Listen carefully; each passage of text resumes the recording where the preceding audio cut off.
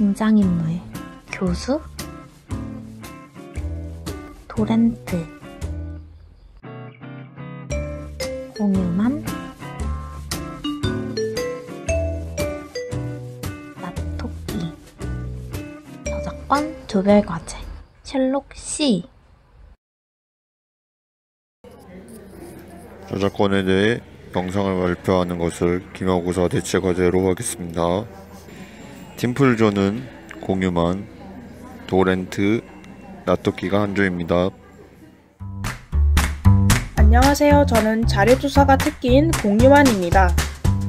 안녕하세요. 저는 미리 보기가 특기인 라스키입니다. 안녕하세요. 저는 영상 만들기가 특기인 도렌트입니다. 그럼 각자 특기에 맞춰 저작권 조사하고 영상 잘 만들어봐요. 오, 좋은 자료네. 이거 보내고 이거 짜집기 하고 이렇게 보내면 되겠다. 아, 영상 만들기 귀찮다. 새로 영상 만들어야 되는데 이거 다운받아서 그냥 똑같이 만들어야지.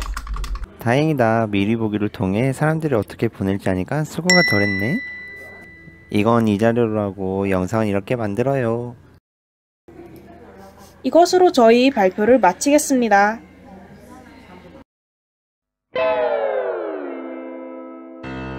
내용 출처를 밝히지 않음, 똑같은 영상을 썼음, 저작권 수업 취지와 맞지 않음,